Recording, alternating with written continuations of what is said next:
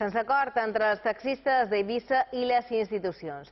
Les conversacions continuen aturades en el percentatge del repartiment de les llicències estacionals durant els mesos d'estiu.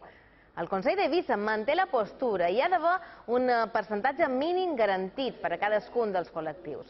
Continuen fixant un 65% dels permisos per als taxis titulats i un 35% per als assalariats. El sector defensa que la llei especifica que s'han d'atorgar preferentment als titulars. Des del Consell ja han dit que donen per tancades les negociacions i que ara són els cinc ajuntaments de l'illa els que han d'aprovar els plans de llicències estacionals. Els taxistes estan disposats a arribar als tribunals si no es tanca cap acord. Nosaltres hem fet la feina prèvia d'intentar que hi hagi un marc comú i una visió de conjunt de tota Silla de lo que és el tema de les llicències estacionals.